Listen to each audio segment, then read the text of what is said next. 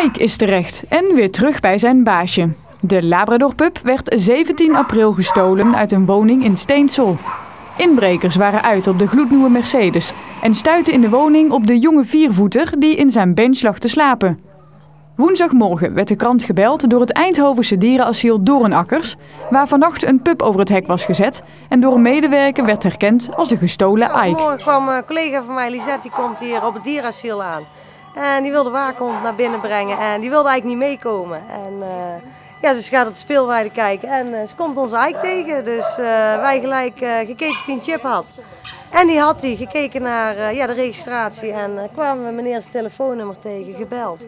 In eerste instantie geloofde meneer me niet dat de hond weer, weer terug was, maar het was hem daadwerkelijk wel. Dus ja, meneer is nu hier om de hond op te halen. Het gelukkige baasje van de pup wilde geen reactie geven voor de camera. Ike is gelukkig wel kerngezond en ging direct mee naar huis. Hij was helemaal gezond. Hij heeft goed eten gehad, zoals je kan zien. Hij is eh, flink, eh, flink aangekomen. Maar nee, het gaat hartstikke goed met het beestje. En we zijn blij dat we ja, meneer weer de hond terug hebben kunnen geven. Baasje blij, hondje blij. Dus ja, ja, nee, daar zijn we heel, heel blij om.